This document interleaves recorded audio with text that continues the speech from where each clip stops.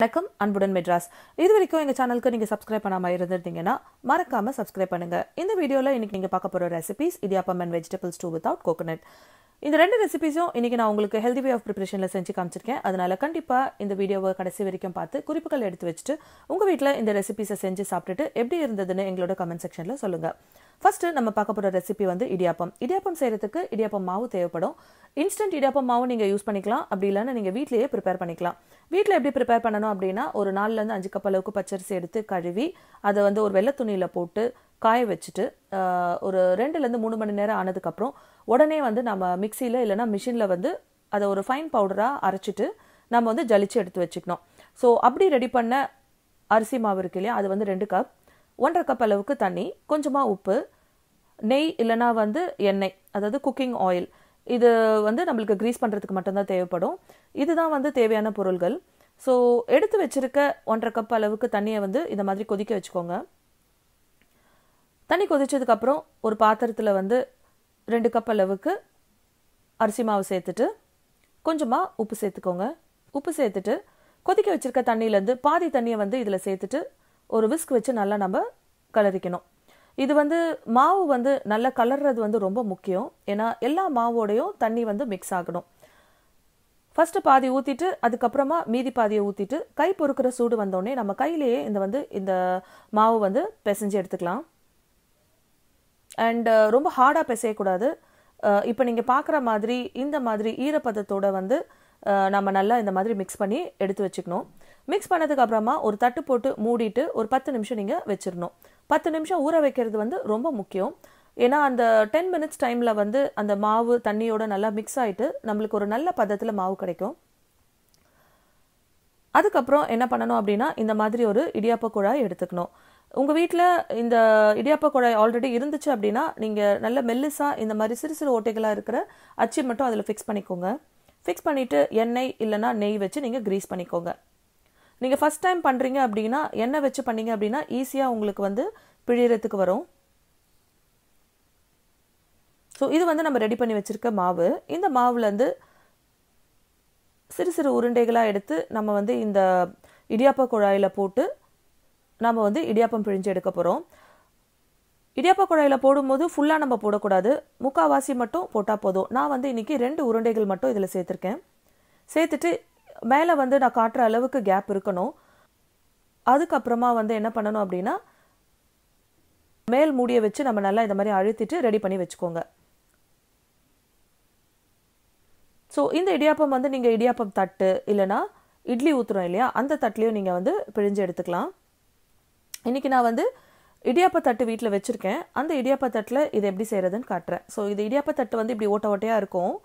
அந்த மாதிரி ஒரு தட்டில் வந்து நெய் இல்லைன்னா எண்ணெய் தடவிக்கோங்க. தடவிட்டு நம்ம ரெடி பண்ணி வச்சுருக்க அந்த குழாயை எடுத்து இது மேலே வச்சு நம்ம மாவை நல்லா பிழிஞ்சு விடணும். ஸோ மாவு பிழியும் போது உங்களுக்கு டைட்டாக இருந்தது அப்படின்னா நீங்கள் கொஞ்சமாக எண்ணெய் சேர்த்துக்கலாம். அப்புறம் நீங்கள் மாவு ப்ரிப்பேர் பண்ணி வச்சுருக்கீங்க இல்லையா? அதில் வந்து உங்கள் கைகளில் வந்து தண்ணியில் நினச்சிட்டு அந்த மாவை திருப்பி ஒரு ட்ரிப்பு பிசைஞ்சிட்டு நீங்கள் வந்து இதில் சேர்த்திங்க அப்படின்னா நல்லா ஈஸியாக பிழிய வரும். இப்போ நான் ஒன்று ரெடி பண்ணிட்டேன். மீதி இருக்கிற மூணு தட்டுகளையும் நான் இதை மாதிரி ரெடி பண்ணி வச்சுக்கிறேன்.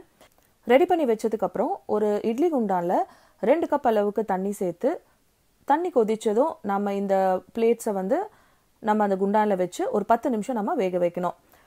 பத்து நிமிஷம் கழித்து நம்மளோட இடியாப்பம் சூப்பராக ரெடி ஆகிடும் இந்த மாதிரி உங்கள் வீட்டில் நீங்கள் வந்து செஞ்சு இடியாப்பம் வந்து எப்படி வந்தது அப்படின்ற கமெண்ட்ஸை வந்து எங்களோட கமெண்ட் செக்ஷனில் சொல்லுங்கள் இந்த இடியாப்பம் வந்து நம்ம தேங்காய் பாலோட சாப்பிட்டாலும் இல்லை தேங்காய் துருவல் நெய் போட்டு சர்க்கரை போட்டு சாப்பிட்டாலும் ரொம்ப நல்லாயிருக்கும்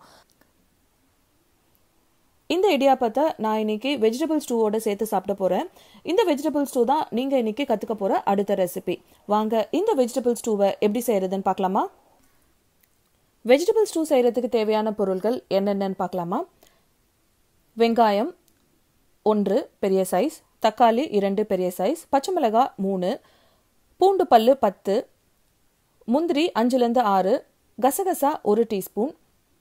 மூணு பிரிஞ்சி இலை. அதுக்கப்புறம் தேவையான வெஜிடபிள்ஸ் நான் வந்து இன்னைக்கு பார்த்தீங்கன்னா கேரட் பட்டாணி அப்புறம் ப்ரொக்கோலி யூஸ் பண்ணியிருக்கேன். ஃபர்ஸ்ட் என்ன பண்ணணும் அப்படின்னா முந்திரியும் கசகசாவையும் ஒரு மிக்சியில் போட்டு கொஞ்சமாக தண்ணி சேர்த்து ஒரு ஸ்மூத் பேஸ்ட்டாக அரைச்சி எடுத்து வச்சுக்கணும். அதுக்கப்புறம் அடுப்பில் வந்து ஒரு ப்ரெஷர் குக்கர் வச்சுட்டு தேவையான அளவுக்கு எண்ணெய் சேர்த்துக்கோங்க. எண்ணெய் வந்து சூடானதோ நாம் வந்து இதில் மூணு பிரிஞ்சி இலையை சேர்த்துட்டு பூண்டு பல்லுகளும் சேர்த்துக்கணும். இன்றைக்கி வந்து நான் வந்து பத்து பல்லு பூண்டு எடுத்திருக்கேன். அதை வந்து இப்போ நம்ம வந்து இந்த ப்ரெஷர் குக்கரில் சேர்த்துக்கலாம்.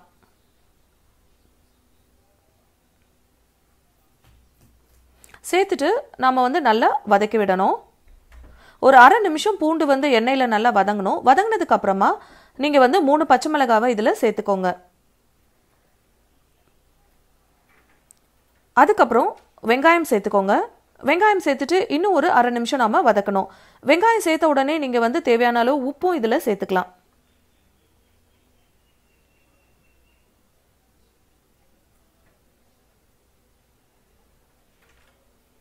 இப்போ நல்லா வதக்கி விடுங்க.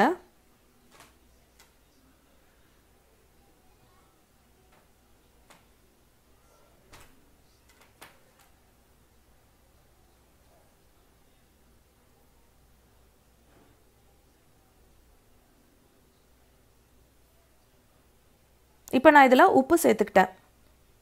உப்பு சேர்த்ததுக்கப்புறம் நல்லா சாட் பண்ணணும். சாட் பண்ணதுக்கப்புறம் இதில் நம்ம எடுத்து வச்சுருக்க வெஜிடபிள்ஸை ஒன் பை ஒன்னாக சேர்த்துக்கலாம். இப்போ நான் பட்டாணி சேர்த்துருக்கேன். பட்டாணி சேர்த்ததுக்கப்புறம் லேசாக வதக்கி விட்டுட்டு கேரட் சேர்த்துக்கோங்க. நம்ம வந்து ரொம்ப வதக்கணும்னு அவசியம் கிடையாது. லேசாக வதக்குனா போதும். அதுக்கப்புறம் தக்காளி சேர்த்துக்கோங்க. தக்காளி சேர்த்ததுக்கப்புறம் தக்காளி ஓரளவுக்கு வதங்கினதும் நாம் வந்து எடுத்து வச்சுருக்க ப்ரொக்கோலியை இதில் சேர்த்துக்கணும். ப்ரொக்கோலி சேர்த்த உடனே நீங்கள் என்ன பண்ணணும் அப்படின்னா கொஞ்சமாக மிளகுத்தூள் சேர்த்துக்கலாம்.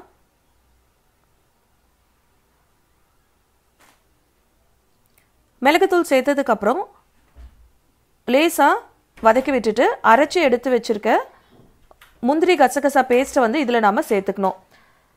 முந்திரி கசகசா பேஸ்ட் வந்து இதில் சேர்த்ததுக்கப்புறம் தேவையான அளவு தண்ணி சேர்த்துட்டு நாம் வந்து ஒரு விசில் வரைக்கும் இதை ப்ரெஷர் குக் பண்ணணும்.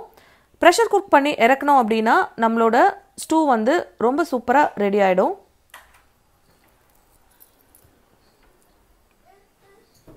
இது வந்து ஒரு விசிலுக்கு மேலே நீங்கள் வந்து வேக வைக்காதீங்க.